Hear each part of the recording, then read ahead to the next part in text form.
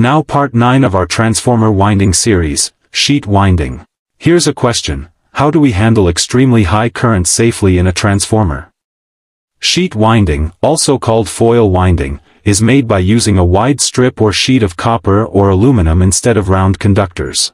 The sheet is wound in layers with insulation between turns, providing a strong and compact winding suitable for large currents. This type is mainly used in low voltage, high current transformers, like distribution transformers.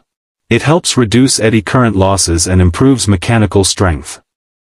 Imagine a broad water canal compared to a thin pipe, the canal can carry huge amounts of water smoothly.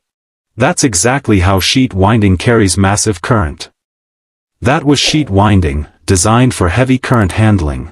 Stay tuned for part 10, where we'll explore the next exciting winding type. Like, share and subscribe.